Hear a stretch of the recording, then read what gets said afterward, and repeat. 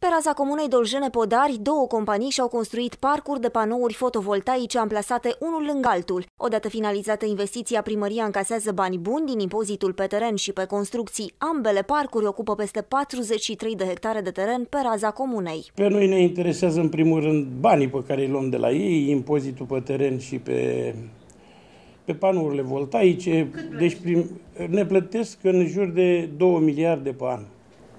2 miliarde de lei vechi, da? De lei vechi, da, corect. Da, sunt foarte corecți la, în privința plății și totodată livrează la Sistemul Național de Energie curentul produs de acele panouri fotovoltaice. Se pare că afacerea cu parcuri fotovoltaice este una dintre cele mai profitabile din România.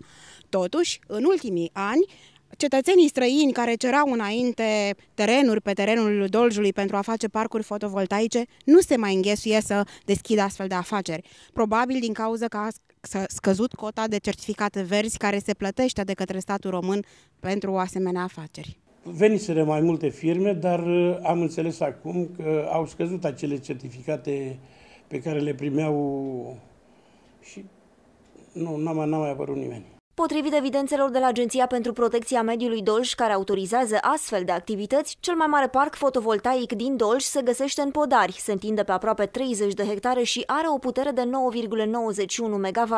În evidențele APM Dolj, investitorul de la Podari ar fi Management Buildings Company SRL. În realitate, acesta a fost doar dezvoltatorul care a construit parcul de panouri fotovoltaice. Întreaga afacere este deținută de Enel Green Power, o divizie care produce energie regenerabilă, a grupului Enel care furnizează energie în alte zone a țării. Dar Enel nu este singurul producător de energie verde de la Podari. La doar câteva sute de metri de cel mai mare câmp de panouri din județ se află altul, care se întinde pe 13,8 hectare și aparține Bioenergy Green Podari SRL, deținută de un cetățean italian.